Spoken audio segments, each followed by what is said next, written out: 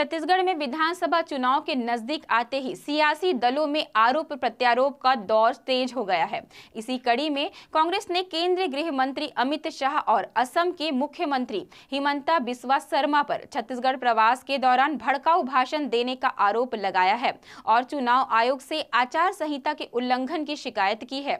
इन आरोपों पर गुरुवार को असम के मुख्यमंत्री हिमंता बिस्वा शर्मा ने प्रतिक्रिया देते हुए कहा कि, मेरे ऊपर कांग्रेस आरोप लगाती रहती है। मैंने जो मुद्दा उठाया है वो सही था।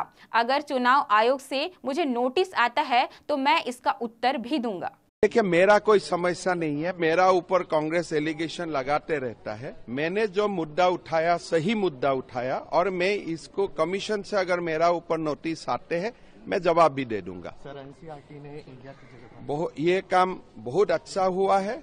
भारत का जय जयकार होना चाहिए देश में। ठीक है।